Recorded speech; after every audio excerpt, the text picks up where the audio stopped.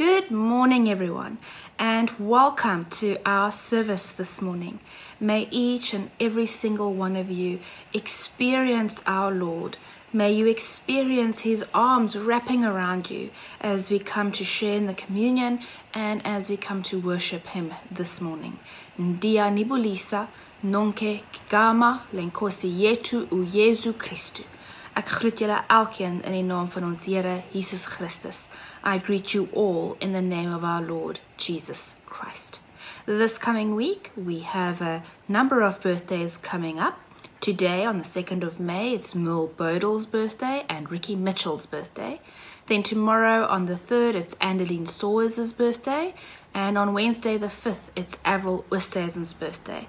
So, to all of you and anybody else celebrating a birthday this week, may you have an absolutely awesome day. May you enjoy your piece of chocolate cake without any guilt.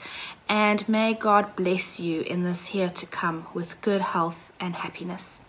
Then it is also sad for us to say that Lorna Els, a very long standing member of our congregation, has decided, has sold her house and has decided to move to PE to be closer to her son. So, Lorna, thank you for everything that you've done for our congregation, for all the times you were there when we needed you to play the piano, for all your wisdom and insight throughout the years. We hope that you have a happy time in your retirement in PE. We are going to start the service by listening to the hymn Spirit of the Living God. Spirit of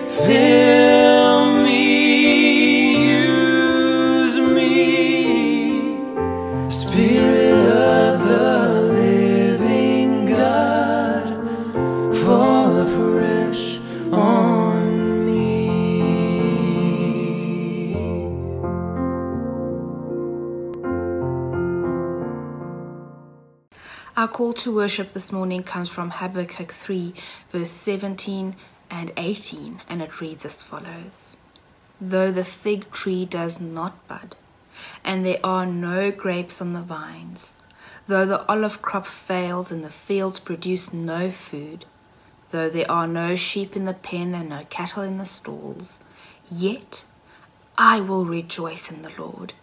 I will be joyful in God my Saviour. Habakkuk describes here what the world will be like once the Babylonians come to invade Judah suffering, pain, famine, and poverty will be the Israelites' new reality. But even though this will happen, the prophet also knows that God will be with the people because that is what God promises to do. That is what God promises us as well. No matter what we face, no matter what we go through, no matter what's going on around us or inside us, God is with us. And so let's draw near to this Lord who is always there for us. Let's go to Him and share with Him what's going on in our minds, and our hearts, and our souls, in the lives we have at this current moment. Let's come and sit at His feet glorify His name and focus our attention on Him with a moment of silent and individual prayer. Let's pray.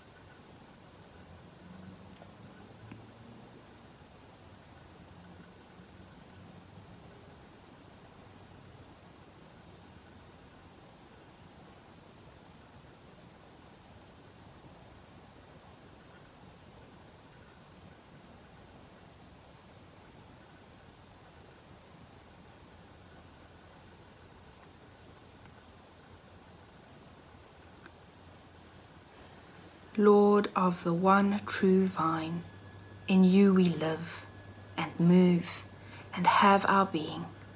You are the one who feeds our souls and nourishes our very core. You provide for our daily needs.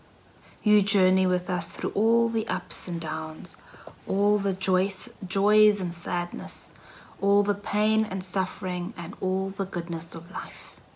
We adore you, our Creator.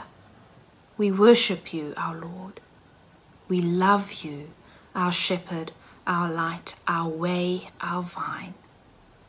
We are your branches, frail, slight, fragile. We are so often tempted and end up sinning, even though we don't always mean to. You know where we've slipped up this past week. The times pride got the better of us where selfishness and greed set in, where we judged unfairly and unnecessarily, where the divine love that we were supposed to share with those coming on our path, we lacked in our everyday actions. We come to you now to confess our sins to you silently and individually.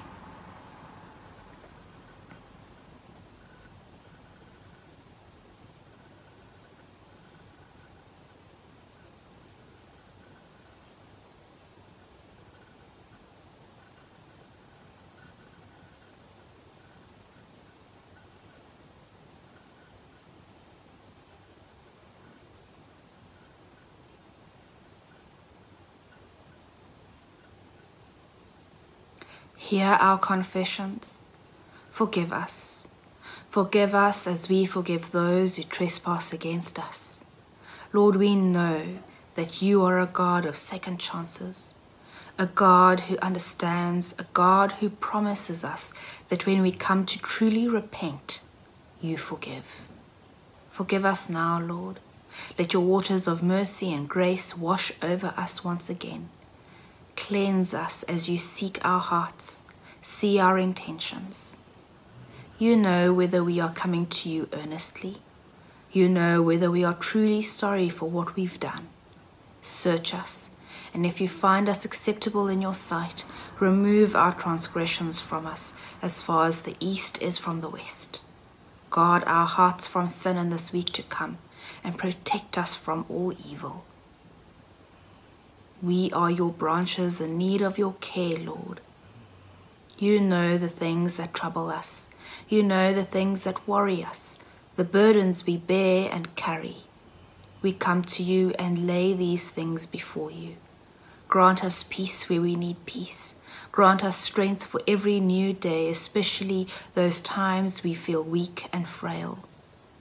Grant us healing from all illnesses and diseases and viruses that we may have, mentally, physically, emotionally, and spiritually. Make us whole again. Grant us protection in this week to come. You know exactly what we will face. Give us insight and wisdom and understanding and compassion for all those who will cross our path and for the situations that we may find ourselves in this coming week. Lord, we want to bear your fruit, and so we ask, come and prune us, but do so gently. Make us aware of the things we need to change in our lives. Give us eyes to see the world as you see it, to see as you see us. Help us every day to do your will and live by your teaching. As we read from your scripture, as we share in the communion, Holy Spirit, open our ears so that we can hear you speak. Open our eyes so that we may see your glory around us. Move in our hearts so we can receive your word and a yearning to follow its change. Amen. We're now going to listen to the hymn, Father, we love you.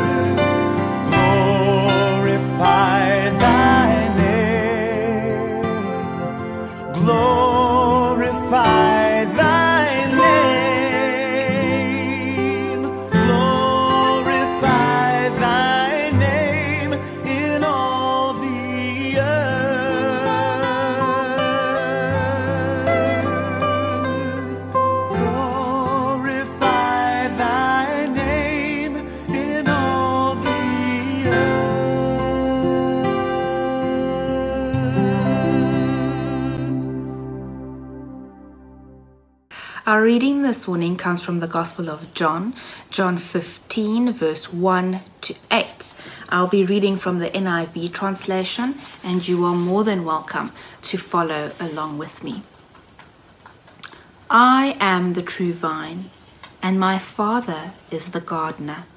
He cuts off every branch in me that bears no fruit, while every branch that does bear fruit, he prunes, so that it will be even more fruitful. You are already clean because of the word I have spoken to you. Remain in me, and I will remain in you. No branch can bear fruit by itself, it must remain in the vine. Neither can you bear fruit unless you remain in me. I am the vine, You are the branches. If a man remains in me and I in him, he will bear much fruit. Apart from me, you can do nothing. If anyone does not remain in me, he is like a branch that is thrown away and withers. Such branches are picked up, thrown into the fire, and burned. If you remain in me, and my words remain in you, ask whatever you wish, and it will be given to you. This is to my Father's glory, that you bear much fruit, showing yourselves to be my disciples. As the Father has loved me, so I have loved you. Now remain in my love. If you obey my commands, you will remain in my love, just as I have obeyed my Father's commands and remain in his love. I have told you this so that my joy may be in you and that your joy may be complete. My command is this love each other as I have loved you. Greater love has no one than this, that he lay down his life for his friends. You are my friends if you do what I command.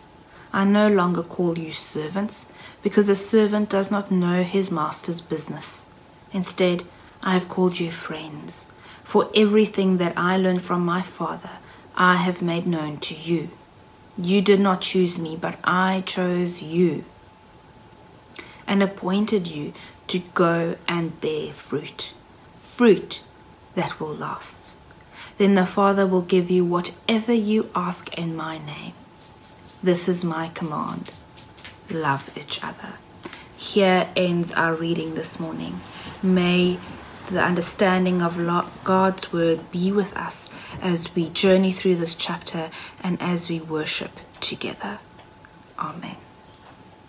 Winston Churchill was asked to give a commencement speech at Oxford University, and he arrived with his usual props a cigar, a cane, a top hat. And as Churchill approached the podium, the crowd rose in appreciative applause. With unmatched dignity, he settled the crowd and stood confident before his admirers. Removing his cigar and carefully placing his top hat on the podium, Churchill gazed at the waiting audience. Authority ran through Churchill's voice as he shouted, Never give up! Several seconds passed. Then he rose onto his toes and repeated, Never give up. His words thundered in the deafening silence as Chur- Churchill then reached for his hat, his cigar, steadied himself with his cane, and left the podium, his commencement address finished. It seems as if this was exactly the same message that John wanted to bring to those hearing and reading his gospel. Never give up. Why was this so important for John?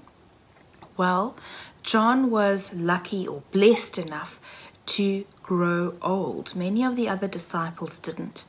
And during his lifetime, he saw all sorts of heretical teachings and ideas about Jesus growing and started and starting to be accepted as truth. And this concerned him greatly. So greatly, in fact, that he decided to pen down his own experiences of Jesus and his own understanding of Jesus, the man that he knew and followed. He wanted to explain to the people of his day exactly who Jesus was. He wanted to encourage them keep on believing, never give up. Because the Jesus you know and follow is the true Messiah, the Son of God, the Savior who died and was resurrected. Don't fall for any old story because you already know the truth. And for this reason, this gospel was written for mature believers, for people who have been journeying with God for quite some time, but somewhere along the line, they grew tired, they grew confused, they experienced doubt, and they struggled to make sense of their faith and their understanding of God in the midst of the world and all the different stories that they heard about Jesus. And this morning, we read together this reading about the vine and the gardener and the branches. This reading is part of a speech, or rather a word of encouragement or words of wisdom that Jesus was sharing with his disciples before his crucifixion in the upper room. It was the last meeting that Jesus then has with the disciples, and it's here where he prepares them for what is to come. And so he takes the time to comfort them, to encourage them, to share with them the things that they will need to continue to do when he is no longer there. He tells them what to expect. He tells them what their greatest challenges will be, and he tells them how to persevere. This reading that we read together this morning is the last of the seven I am sayings that Jesus shares with his disciples throughout the Gospel of John. And Jesus uses images in these I am sayings that the disciples would have understood. So it wasn't necessary to explain everything to them because they already had a very good understanding of what the image entailed. But he also uses, Jesus uses these I am sayings to give them insight into who Jesus is, what Jesus' identity is. Now, the vine metaphor was borrowed and adapted from the Old Testament, where the vine metaphor was often used as the image of Israel and God's people. And then here in the New Testament, it becomes the image of fruitfulness, intimacy, and love. Now, we've all heard sermons on this last I am saying, we've all done Bible studies on it, uh, we've read it on our own, so we have a very good idea of what this reading actually says and how it identifies Jesus as the vine and God as the gardener and us as the branches. So, what is there really more or new to say about this reading? Because we kind of know it inside out. And so today we're going to try a different approach to this reading. Instead of going through it verse through verse like we normally do, we're going to stand back and look at the bigger picture.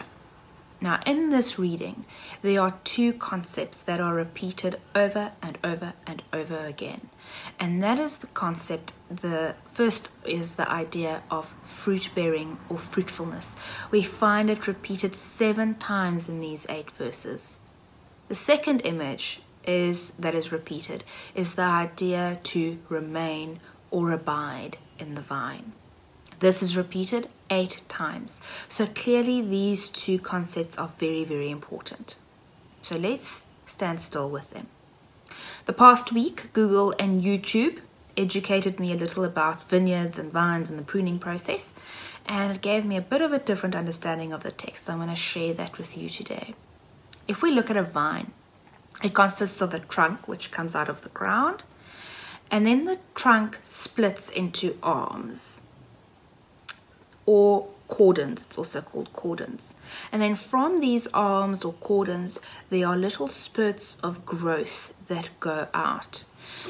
From these spurs, canes then grow. And a cane is what we know as a branch. Now, when pruning season comes around, the idea is to prune the vine so that it may yield the maximum amount of grapes for the next season. Grapes, however, need enough cold and enough heat to grow perfectly. So, even though the owner of the vine can't control the weather, he can prune the branches in such a way to set it up that the branches have enough sunlight and warmth, while also enough shade from the other branches for the cool coolness that it needs. Now, interestingly, the YouTube videos states that grapes only grow off canes that are at least two years old. So every year there is a new growth and the new and new cranes, but these sprouts need to first grow strong enough before it can actually carry grapes. So It first needs some nutrients and some goodness from the vine before it is able to carry the weight of grapes. And so the young canes or branches are pruned to keep them small so that they can have the opportunity to develop first. The gardener will then prune each spur so that it only has one crane. Each crane will be pruned so it has two buds. Each bud will then grow into its own cane, and each cane will only have two clusters of grapes. This is the recipe, it seems, that all gardeners use to ensure that their vineyard yields the most amount of grapes. Now, what do we learn from this? We learn that bearing fruit is not something that's expected from new believers. New believers must first have the opportunity to grow in God, to learn about Jesus, to receive input into their spiritual lives so that they can be strong enough and developed enough to yield fruit in the future. This, however, takes patience. So, as a new convert, one has all the energy and all the enthusiasm and the eagerness to change the world. But it is at this time where God needs us to just slow down so that He can develop us first before we go to conquer the world. For those who are mature believers, those who have journeyed with God for some time, there are a few things we can learn as well. There are two types of branches in verse 2 those who bear fruit and those who do not. Bearing fruit is an outward and visible sign of being a disciple or a follower of Jesus. If we take a second to think, what fruits have you yielded lately? If we are not bearing fruit, why not? What's stopping us? What are we doing? Perhaps we need to ask ourselves the question why do we have to bear fruits? Verse 8 comes to answer that question. We bear fruits so that God can be glorified. We bear fruits so that other people can see God's followers. We bear fruits in order to point people towards Jesus. Our fruits aren't there for ourselves. The branches in the vine, they don't eat their own fruit. No, the fruit is picked and used. So, who do we bear fruit for? Not ourselves. We do not bear fruit to show other people, oh, look how fantastic I am. Oh, look what a good follower of Jesus I am. Oh, look at me. This is not the reason we bear fruit. We bear fruit for those around us. We bear fruit so that others can see God working and changing us at all times. We bear fruit so that people can see God and so that God can be glorified. We are the branches. Jesus is the vine. And this is something we always need to remind ourselves of time and time again. We don't make ourselves fruitful, Jesus makes us fruitful. He gives us what we need. The gardener prunes us so that we have potential. In verse 3, Jesus makes it clear that mature already uh, believers already have what they need. They are clean, they have heard the words of Jesus, Jesus has taught them, they've journeyed with God, they are equipped to bear fruit. Likewise, we are equipped to grow fruit. The Holy Spirit is with us, equipping us every single day, helping us every single day, pleading for us with God every single day, providing us insight and wisdom and love and compassion and understanding for one another. We are equipped. So, why aren't we always bearing fruit? Let's get to the pruning process. The pruning process is often painful. It's not always easy. It's often a time where the world feels turned upside down and inside out. It's a time of doubt and questioning or not understanding. It's often difficult and challenging. But God prunes us because He sees potential in us.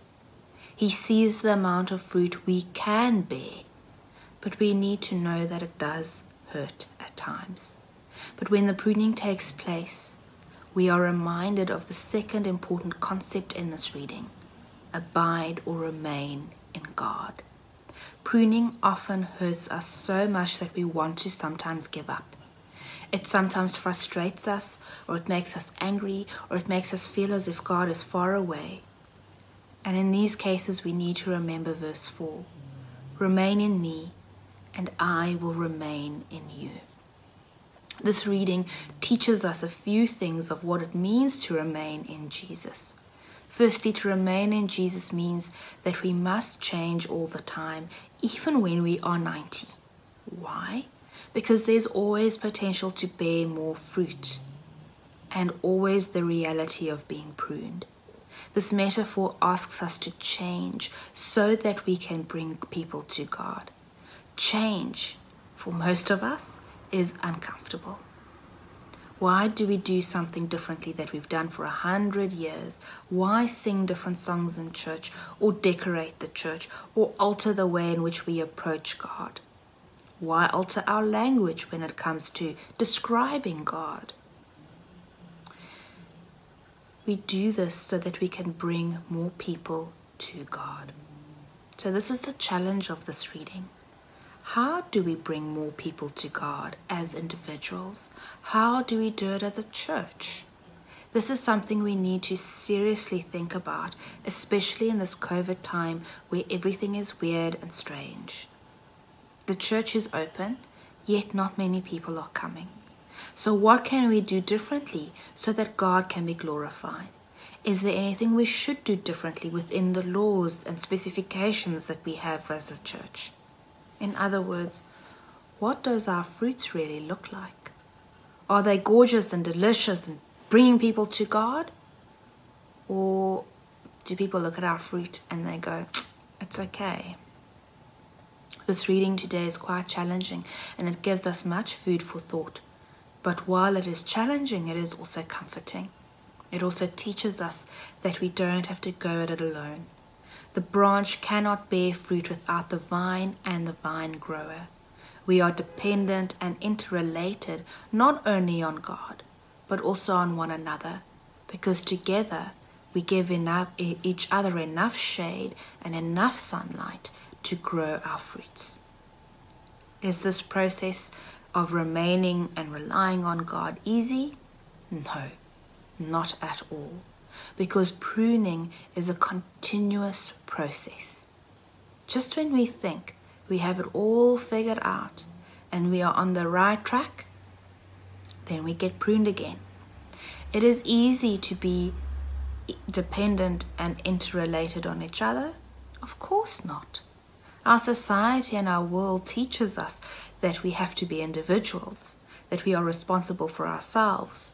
We have become so focused on ourselves that we actually tend to forget about the other, especially during COVID 19. Bearing fruit is not just an individual enterprise, but something that we do together as a community, as a church. We all, therefore, need to be rooted in Jesus. Together, we need to fellowship with God. Together, we need to grow in our relationship with God. We need to lean on each other, teach one another, create space for one another, have patience with each other, not expect too much from one another. We are all equal. No one of us is better than the other. No one of us is above any other. We are all branches. Lucky for us, we don't need to bear fruit alone. The vine and the vine grower is with us. He wants us to grow fruit because it glorifies Him. And for that reason, we are encouraged to ask God what we need in verse 7. If we ask God for what we need in order to bear more fruit, God will gladly answer our prayers and grant us what we ask for. God is with us. God wants us to grow closer to Him and He to us. God wants us to succeed and grow more fruit. And so, even though He prunes us from time to time, even though He guides us into directions we don't always want to go, we can rest assured that He will be with us. God wants what is best for us, and He will never abandon or forsake us. He will remain in us always and at all times. And for this reason, we should never give up. God remains in us, and we remain in Him. Amen. Let us pray.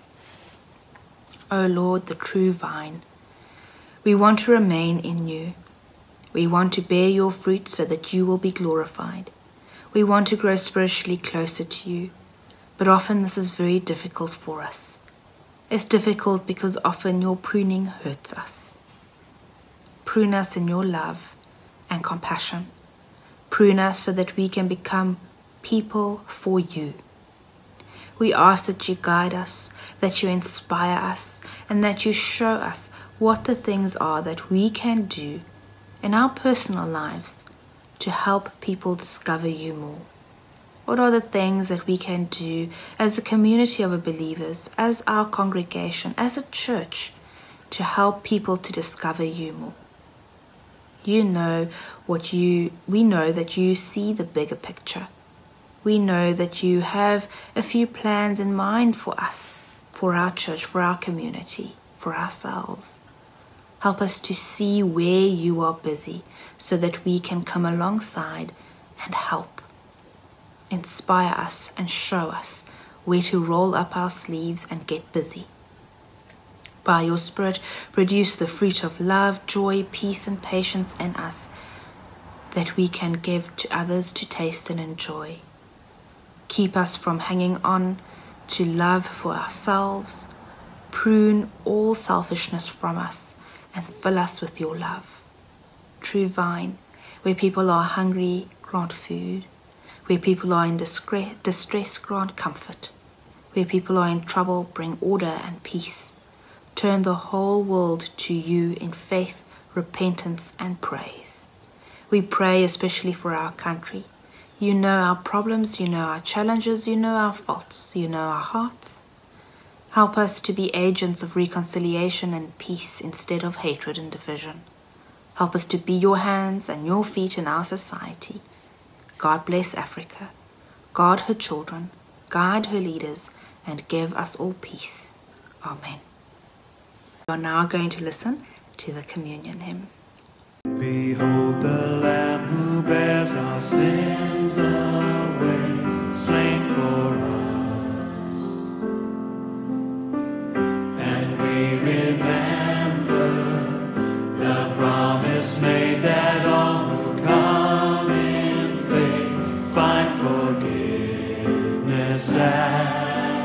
Cross. So we share, so we share in this bread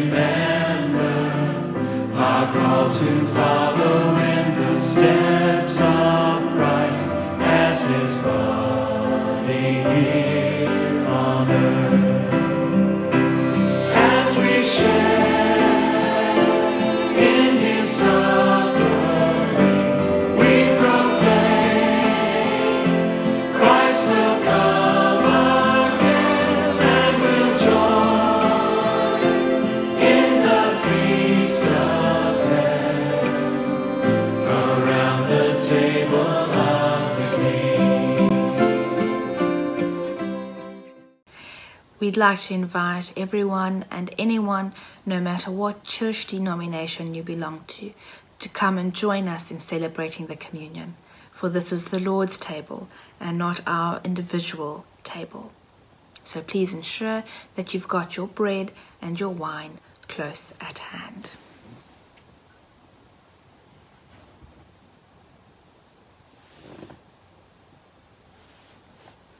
Let us therefore draw near to the holy table and hear the gracious words of our Lord Jesus Christ, who said, Come to me, all who labor and are heavy laden, and I will give you rest. He who comes to me, I will never, ever send away. Beloved in the Lord, attend to the words of the institution of the Holy Supper of our Lord Jesus Christ as it's given to us by St. Paul, who said, I have received of the Lord that which I also delivered to you, that the Lord Jesus, the same night in which he was betrayed, took bread. And when he had given thanks, he broke it and said, Take, eat. This is my body broken for you. Do this in remembrance of me. In the same way also he took the cup. After he drank from it, he said, This cup is the new covenant in my blood. Do this as often as you drink it, in remembrance of me.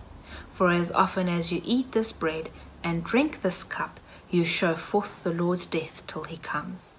Therefore, that we may fulfill his institution in righteousness and in joy, let us follow his blessed example in word and action, in the name of the Father, the Son, and the Holy Spirit.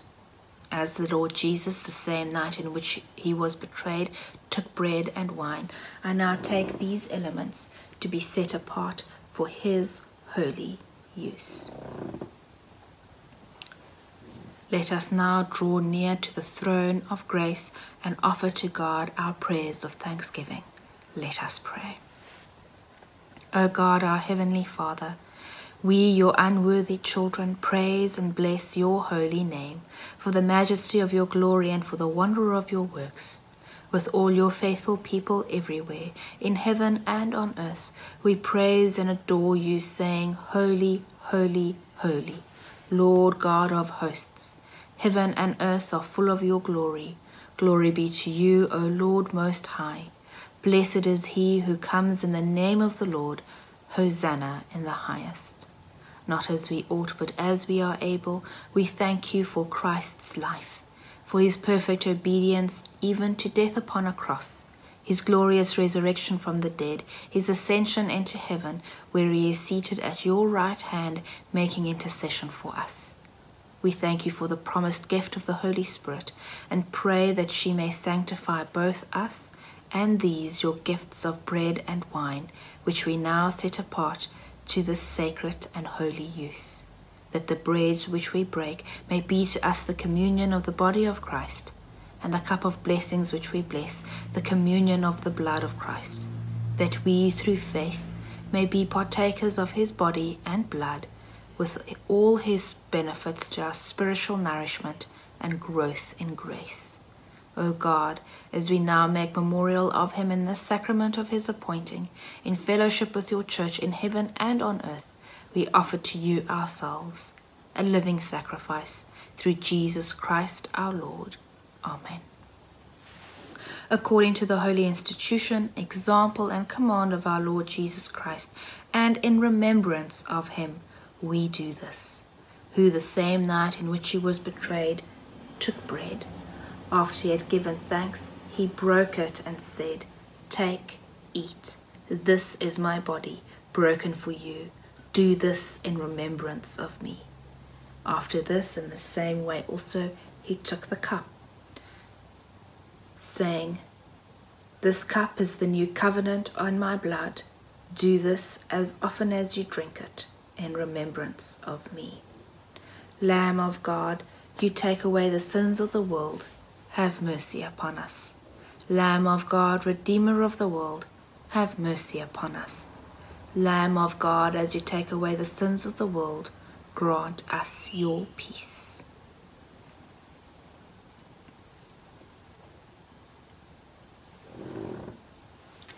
Take, eat, the body of Christ is broken for you. Do this in remembrance of him.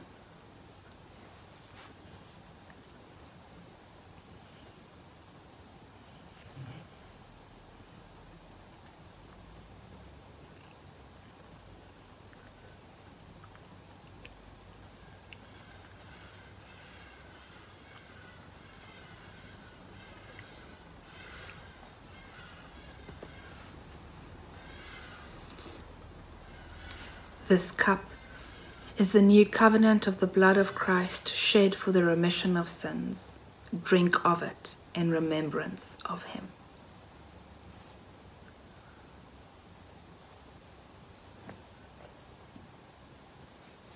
The peace of the Lord Jesus Christ be with you.